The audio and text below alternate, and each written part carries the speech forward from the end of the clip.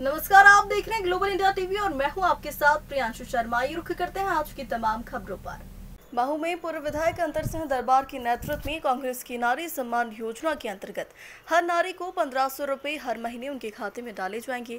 इसी को लेकर आज महू में पंद्रह हज़ार नारियों को नारी सम्मान योजना के फार्म वितरित किए गए हैं। महू में बीजेपी ने मात्र छह हज़ार बहनों को लाडली बहना योजना का लाभ दिया है, जिसमें एक हज़ार दिए हैं। जबकि हम पंद्रह सौ एवं पाँच सौ में गैस सिलेंडर के वचन को लेकर बहनों के सामने आ रहे हैं। प्रदेश कांग्रेस अध्यक्ष एवं पूर्व मुख्यमंत्री कमल कमलनाथ जी की पाँच मुख्य जन कल्याणकारी योजनाओं में हर उम्र और वर्ग की नारी को पंद्रह सौ रुपये एवं पाँच सौ रुपये में गैस सिलेंडर, सौ यूनिट बिजली फ्री दी जाएगी। इस महत्वाकांक्षी योजना को लेकर सैकड़ों कांग्रेसी महू शहर के मार्केट चौक से शहर के घनी आबादी वाले क्षेत्र, एमजी रोड, लुनियापुरा, सेवा मार्ग टाल मोहल्ला, श्याम विलास चौराहा, यादव मोहल्ला, तैली मोहल्ला लोहार पट्टी सात रास्ता पट्टी बाज़ार होकर कास्थ मोहल्ला स्थित कांग्रेस कार्यालय पर रैली के रूप में पहुँचे हैं। रैली के बाद कांग्रेस कार्यालय पहुंचकर कार्यकर्ताओं की महत्वपूर्ण मीटिंग रखी गई है।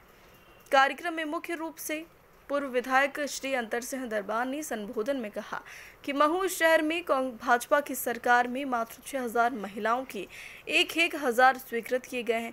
कांग्रेस सत्ता में आएगी तो महू में, शहर में पंद्रह हज़ार महिलाओं को पंद्रह सौ रुपये प्रतिमाह मिलेंगे और रामेश्वर पटेल, घनश्याम भंडारी, मृणाल पंत ने अपने संबोधन में कहा कि नारी सम्मान योजना कांग्रेस ने हिमाचल एवं कर्नाटक एवं राजस्थान में लागू की है। मध्य प्रदेश में सरकार आने पर कमलनाथ जी के वचन के अनुसार हम पंद्रह दिवस में उक्त घोषणा पर अमल करेंगे।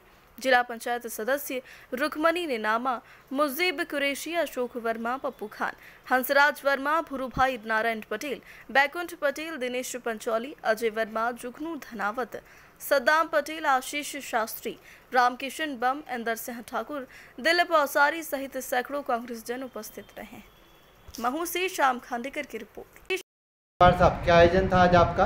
आज जो हमारा आयोजन था वो कमलनाथ जी की महती योजना जो प्रत्येक महिला को पंद्रह सौ रुपये दिए जाएँगे हमारी सरकार बनने पर और सिलेंडर गैस का जो है वो पाँच सौ रुपये में दिया जाएगा और पेंशन जो है वो, वो जो कि बहुत ही ज़रूरी है वृद्धावस्था के अंदर उनको पेंशन दी जाएगी। साथ में किसानों का कर्ज माफ़ किया जाएगा और 100 यूनिट बिजली जो है वो माफ़ रहेगी।